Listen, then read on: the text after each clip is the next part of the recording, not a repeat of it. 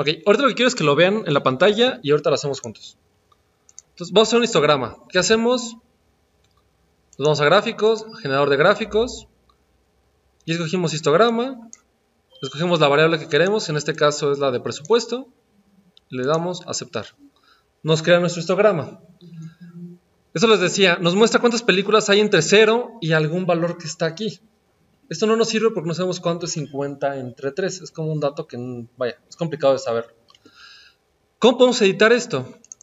¿Qué tal si yo quiero saber más bien, en lugar de cuántas películas hay entre 0 y el dato que está aquí, quiero saber cuántas películas hay entre 0 y 25 millones? ¿Cómo editamos esto?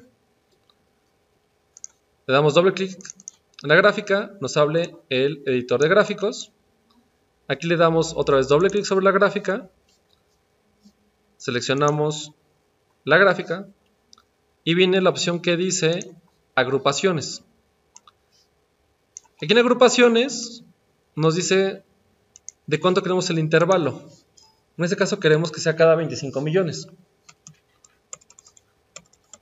Le damos 25 millones, le damos a aplicar y vamos a ver qué pasa. Vamos a ver si eso nos resuelve el problema. ¿Nos resuelve el problema? No. Ok, vamos a ver si hacemos otra cosa. ¿Qué tal si le damos aquí en intervalos? Decimos que lo haga cada cuatro intervalos. Ok, aquí ya no los movió. Aquí está haciendo algo. Entonces vamos a ver qué falló.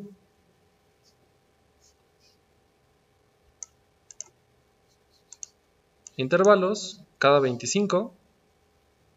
Vamos a darle mejor cada 50.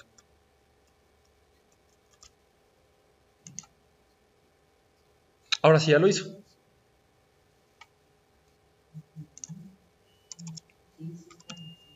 Cada 25.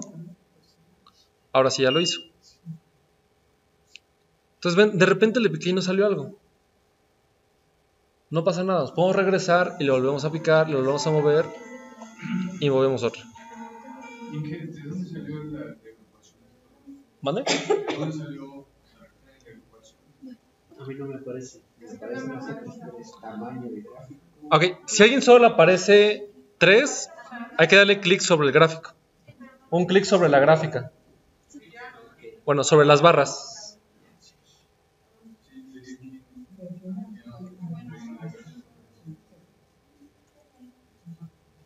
¿Puede variar entre agrupaciones o clase de punto? Ah, sí es cierto. Eh, en SPSS 20 le llaman clase de punto. En el 24 le llaman agrupaciones. Ok, ahora ya vemos la gráfica. ¿Ya se entiende más? Ya sabemos cuántas películas hay entre 0 pesos y la mitad de 50, ¿cuánto es? 25. Entonces sabemos ahora entre 25 y vemos que hay aproximadamente 27. Ya vimos la vez pasada cómo se le hace para poner una etiqueta. ¿Cómo se le hacía para poner las etiquetas? Mostrar etiquetas de datos. Le damos salud.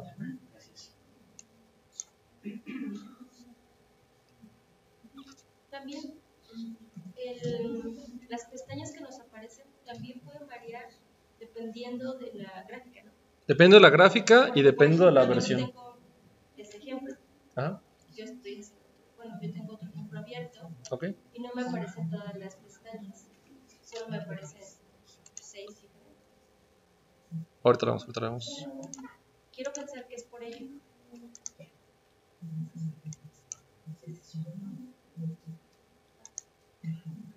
No, ¿por qué no está haciendo por Yo tengo otro ejemplo, pero entonces a mí parecen. Ah, porque este no es nuestro campo. Oh, no, este es un recuento. Por eso,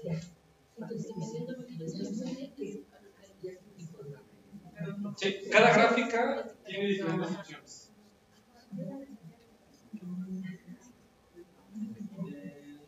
Ahí se hace la estos. Y hay que darle un clic sobre.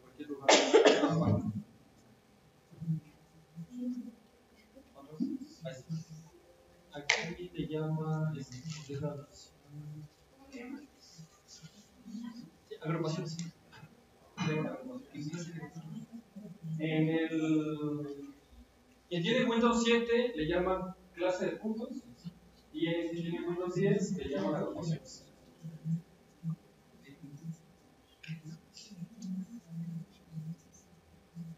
Sí, aquí para llegar a esto, acuérdense, hay que hacer un histograma. Sí, mientras no hagamos un histograma, solo son una gráfica de recuento, otras son las opciones. Ok, ya tenemos un histograma. Este es importante en estadística porque nos muestra cuántas películas caen, bueno, cuántos valores caen en cierto rango. Es una manera muy fácil de verlo. Perdón, ¿cómo llegué a los intervalos? Intervalos es clic derecho. No, Seleccionamos la barra. Agrupaciones. O el otro dice clases de puntos. Hay que dar un clic sobre la barra. Porque si lo ponemos afuera, si ven, desaparece. Si le damos un clic sobre la barra, ya aparece agrupaciones o clases de punto. Dependiendo que SP, SPS tenga.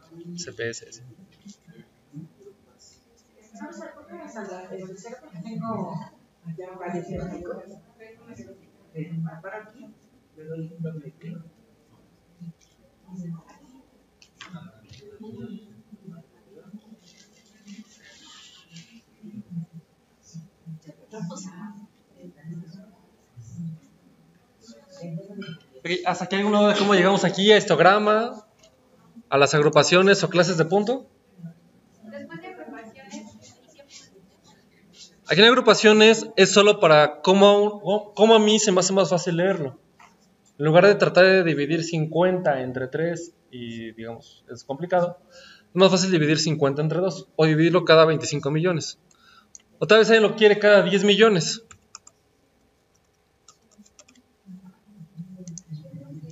Entonces, si ven, ahora nos los divide cada 10 millones. Entonces, aquí depende de ustedes cómo es que sea más fácil para ustedes leerlo, cómo lo quieren presentar, cómo es que tiene más significancia los datos para ustedes. Tal vez alguien dice, no, a mí solo me interesa saber cada 50 millones. Entonces le pueden poner 50 millones.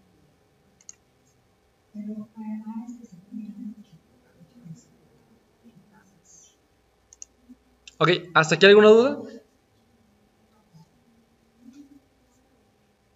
Pues esto es para contar, esto es un histograma nada más. Si ya hicimos un horror y ya no quieres regresar.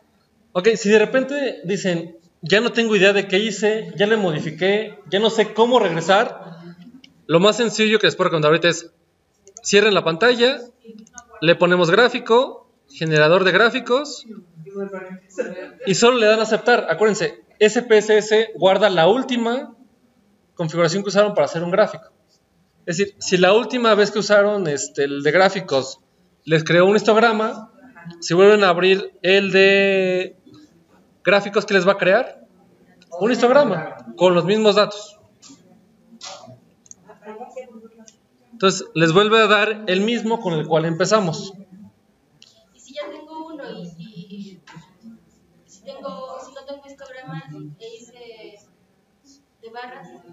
¿Lo puedo modificar?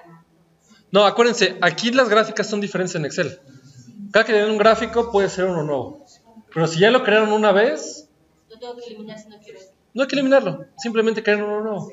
Que ahí se puede. Ustedes le dan, digamos, lo seleccionan, le dan suprimir y desaparece. Pero en términos de... Vaya, no sirve nada eliminarlo. No, no se puede cambiar. Acuérdense, esa es como que la diferencia entre Excel y SPSS.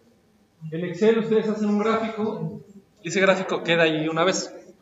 En SPSS no, en SPSS lo pueden hacer n veces y van a tener n gráficos.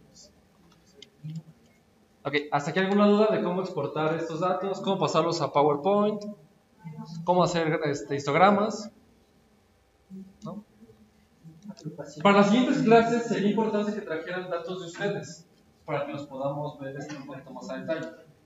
Eh, pero, ¿qué quieres que lo hagamos? Hacemos eh, todo el procedimiento de limpiar nuestras bases, la, las cortamos y ya los traemos en SPSS. Si la traen ya limpia en SPSS, nos ahorran 10 minutos de estar limpiando y de estar viendo si está protegido o no está protegido. Eh, sería lo mejor para la clase.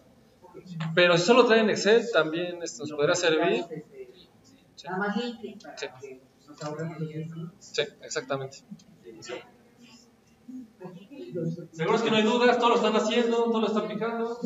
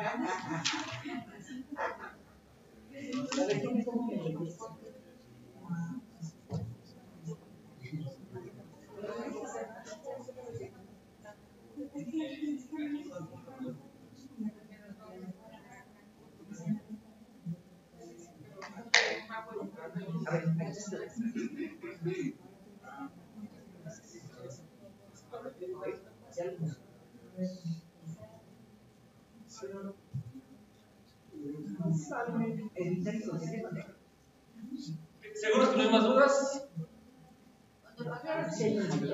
Sí, lo importante es hacerlo una y otra y otra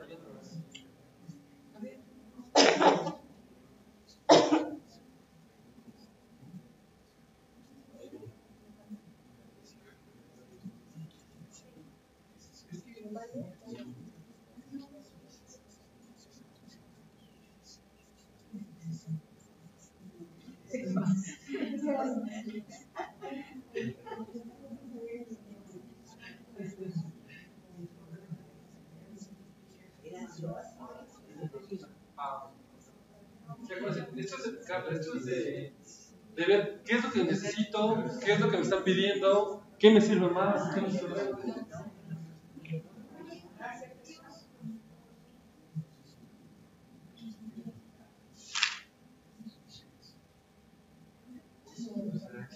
Ah, ese es el del fondo. ¿Y te acuerdas que había uno para para- Y es lo que voy a pasar, porque si hay manera de cómo poner todo esto, pero aquí. Y cada de verdad. Sí, si tiene que hacer guardar.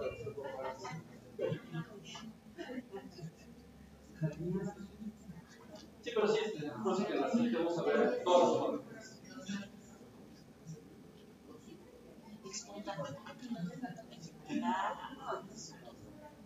A nosotros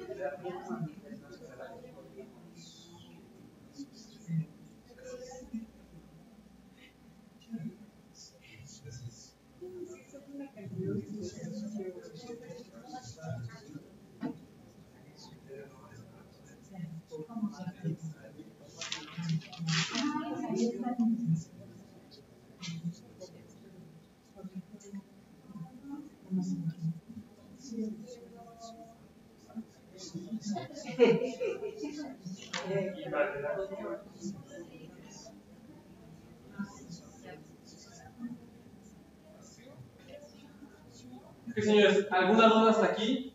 Acuérdense, esto solo es práctica. Es práctica, ensayo, error. Porque acuérdense, con cada dato, con cada tipo de conjunto van a tener resultados diferentes.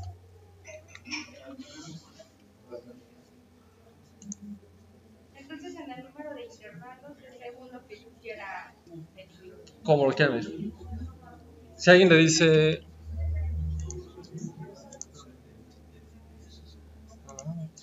Pero no se me quedó, digamos, aquí guardado. Mira, aquí donde yo. Y Ah, es que es uno u otro.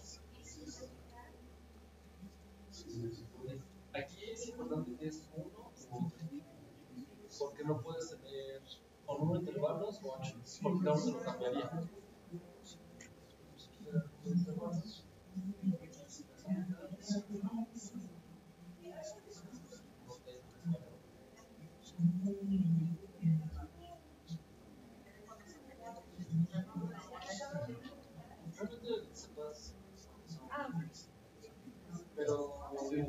el que más se utiliza es el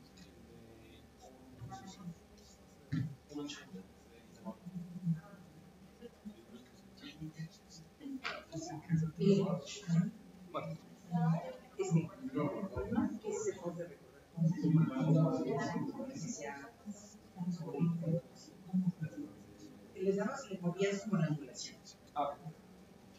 para darle un efecto, digamos, un poco más elegante a esto,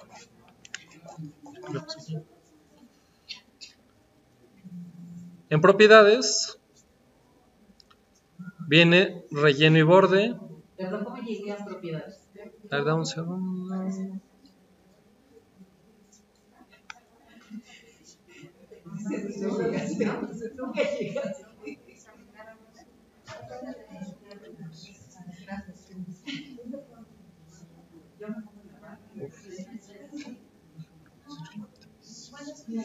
Por ejemplo, es otro limitante en histogramas. En histogramas no te permite ponerle este, anchos. Sí, acuérdense, SPSS no es para dar formato. SPSS es para datos.